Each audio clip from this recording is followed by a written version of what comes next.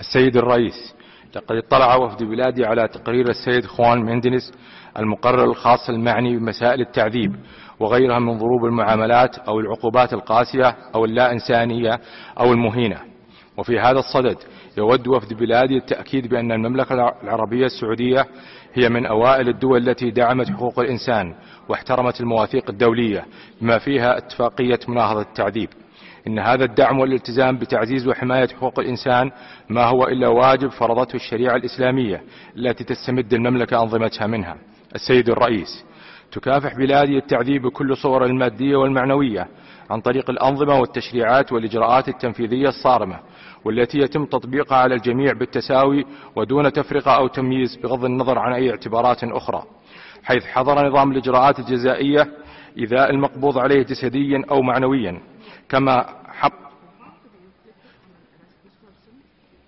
كما بحظر ذلك تعرض للتعذيب أو المعاملة المهينة للكرامة بالإضافة إلى عدم جواز استخدام وسائل الإكراه ضد المتهم أو إجباره على الاعتراف. كما يحظر النظام إجبار المتهم على التوقيع على رفض التصديق على أقواله. واستنادا على القاعدة الشرعية التي تنص على أن ما بني على باطل فهو باطل. فإن كل دليل يتم الحصول عليه بطرق غير شرعية يعد باطلا. فالأدلة التي تكون نتيجة للإكراه أو التعذيب أو تفتيش المساكن بغير إذن تعد أدلة غير مشروعة ولا قيمة لها.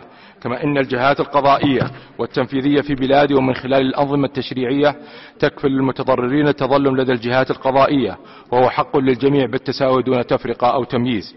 كما تكفل للضحية الحق في رفع دعوى أو الحصول على تعويض في حال وقوع انتهاك ضد أو, أو ضدها.